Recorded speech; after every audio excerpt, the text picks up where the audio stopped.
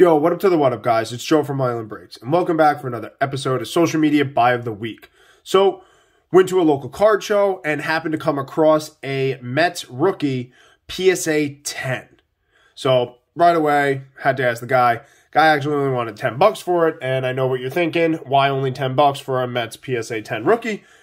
Because wait till you see who it is. But before I get to that, make sure you like, subscribe, go check out the channel. Got a bunch of videos on football and baseball. I hope you guys all appreciate it. But look at this. We got the Alonso 9.5 Beckett. We got the Alonso CSG 10 and we got the DeGrom CSG 10. And now to add to my three slabbed Mets rookie cards, I have a Michael Conforto, who sadly is no longer with the Mets, but nonetheless, it's the Walmart exclusive Gem Mint, PSA 10.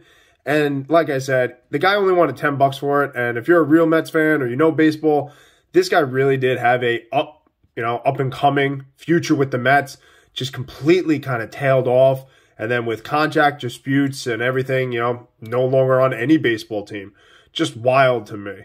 But like I said, to add it, he was so good when he was on the Mets, and I really did like him. I was debating whether or not to get his jersey, but, you know, just ended up didn't. But add it to my other three slabs. I do have an Alonso jersey because, you know, why not have a polar bear jersey? So, guys, I appreciate you getting to the end. Like I said, make sure you like, subscribe, go check out the rest of the channel. I really do appreciate you guys wait watching to the end. Have a good day.